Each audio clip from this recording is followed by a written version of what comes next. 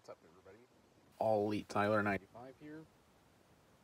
I'm going to talk about whether C- will CM Punk's total ever. I mean, we're one week away from All Out.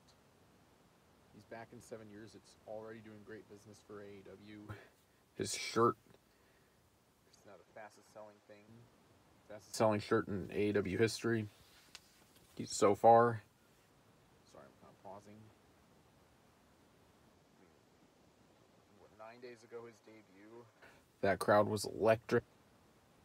I certainly believe. I hope Punk has plenty of gas left in the tank. I think, he's going to do great for AEW. Mm-hmm. The guy hasn't wrestled since what? The 2014 Royal Rumble. I mean, I will tell you this: if you looked at me five years ago and said Punk was going to wrestle, I would have thought you were crazy because I didn't think Punk was ever going to wrestle again after what happened. I mean, no, if he was going to wrestle, at least not for WWE, because after how they screwed him over. So yeah, I'm really looking forward to seeing him compete again. He's been one of my favorites. I mean,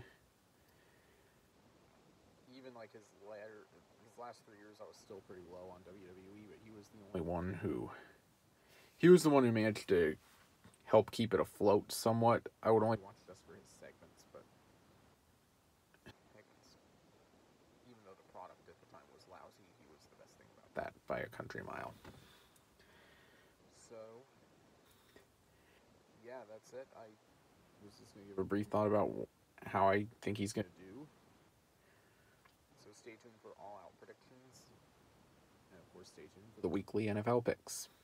See ya.